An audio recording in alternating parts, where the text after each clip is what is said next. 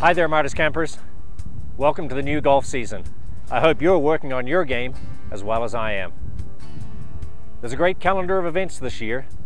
June is the way to kick your season off. The first of the activities is the one-day golf schools. We've got one on June 8th and one on June 22nd, featuring Director of Instruction, Martin Chuck. He'll kick your game into high gear if you choose to spend the day with him.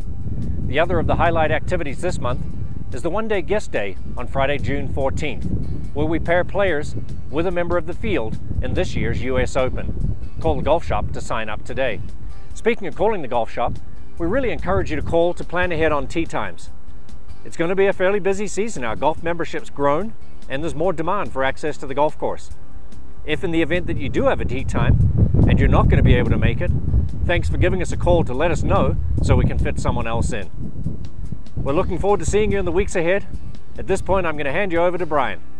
Thank you, Gus, and hello, campers. I just want to remind everyone to come on out for demo day on June 29th from noon to 4 p.m. Come try the latest equipment. If you cannot make the demo day, give us a call in the golf shop. We'd be more than happy to come out here and get you fit for the latest equipment. Also remember, check those grips. If they're slick, hard, or hard to hold on to, it's time for some new grips. Why would I get a new grip? Softer the grip, more tacky it is, the easier you can hold on to the golf club and hit better golf shots. Give us a call in the golf shop and look forward to seeing you soon.